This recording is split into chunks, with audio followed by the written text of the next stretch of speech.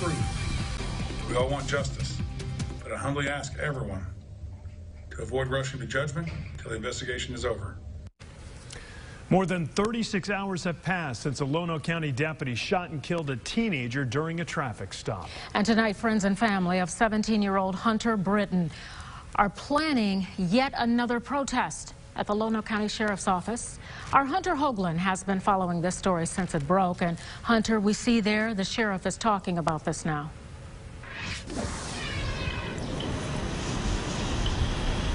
Yeah, the sheriff released a video just moments ago trying to explain some of the questions that people still have up here regarding yesterday's shooting, but still a lot of unanswered questions tonight as this investigation was handed over to state police at the request of the Lonoke County Sheriff's Office. State police say Hunter Brittain is the 17-year-old who was shot and killed by that deputy. Yesterday, family and friends of his protested here at the sheriff's office demanding answers.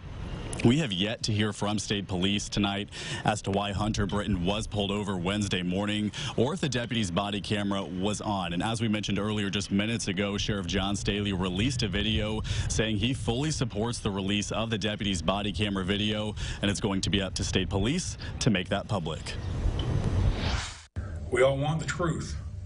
We all want justice. But I humbly ask everyone to avoid rushing to judgment until the investigation is over.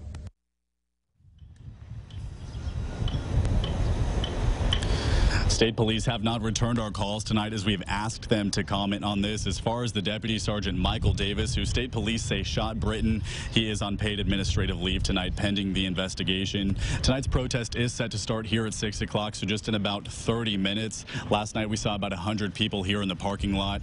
Brittain's family tells me they're expecting even more tonight. Back to you.